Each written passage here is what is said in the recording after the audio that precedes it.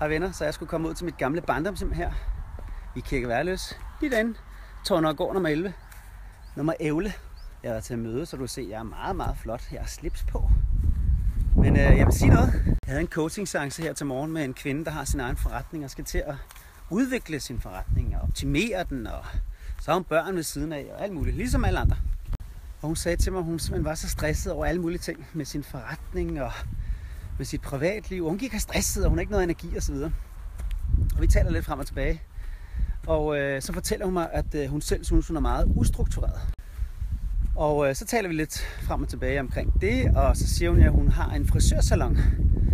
Og så øh, taler vi lidt frem og tilbage igen, og så spørger han, øh, altså, har du en kalender i din salon? Altså en kalender, hvor du ligesom øh, styrer kunderne, når de kommer ind til dig? Jamen, det havde hun siger, jamen, har du så også øh, en kalender, du bruger til dit privatliv?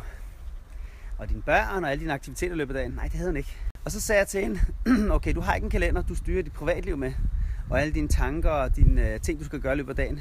Hvordan vil din forretning være? Hvordan vil den gå, din frisørsalon? Hvis du ikke havde en kalender til at styre alle dine kunder, så sagde hun, det ville være noget råd. Så ja, det er det samme med de Så pointen her er, at mange mennesker oplever jeg, de er mega stressede, fordi de har simpelthen ikke struktur.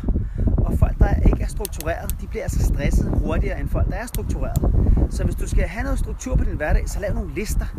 Lav en to-do-liste om morgenen. Brug 5 minutter i din tid på lige at lave en liste. Tag et stykke printerpapir og firepapir, og så lav en to-do-liste eller på din telefon, og så få dine tanker ned på papir. Jeg kalder det ikke en to-do-liste, jeg kalder det en tankeliste. Alt, hvad du skal huske, alt, hvad du tænker, alt, hvad der skal ske. Og så vil du faktisk finde ud af, at du får meget mere energi, føler dig meget mindre stresset og meget mere styr på, hvad du skal gøre. Og det er det samme, hvis du skal ud og handle ind til en 50-års fødselsdag, så går du heller ikke ned i supermarkedet uden en huskeliste eller en indkøbsliste. Vel? Begynd at få dine tanker og dine ting, du skal gøre i løbet af dagen, ned på et stykke papir. Fordi så kan du bare simpelthen sætte flueben eller strege tingene over, når du laver dem. Og det giver en fantastisk fornemmelse. Og så skal du ikke bruge al din tankevirksomhed og dine ressourcer på at huske, hvad du skal gøre. Selvom det er små ting, så få dem ned. Kom tilbage igen. Hvad er der i, hvad er der i bunden? Det var noget cola. Så var noget og så kravler de ned. Nå, så kan de ikke kravle op på den her. Fars autentiske hjemmelavede bifangers.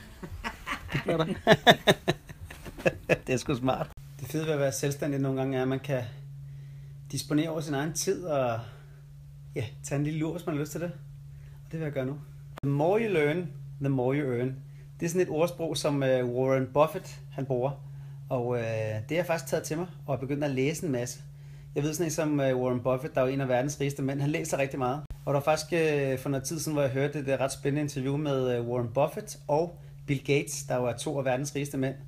Og de blev spurgt om, øh, hvis du skulle have en superpower, hvad skulle det så være? Og de svarede begge to, jeg vil gerne kunne læse hurtigere, for så kan jeg læse noget mere. Så sådan en som Warren Buffett, han læser altså 5-6 timer om dagen. Han læser biografi, og han læser faglitteratur og rigtig meget psykologi. Og øh, det gør jeg faktisk også.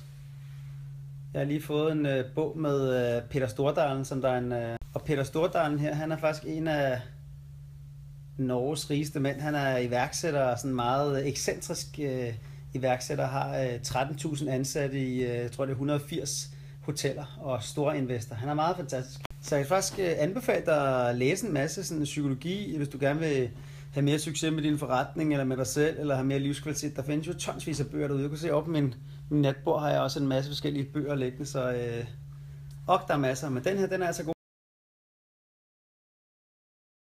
Hej venner, så jeg skulle på vej ud for at træne her. Og ved du, hvor meget jeg har lyst til det? Nul. Men ved du hvad? Om man skal træne eller ej, det er slet ikke til forhandling. Så det er bare at tælle ned for 5, 4, 3, 2, 1, og så gør det.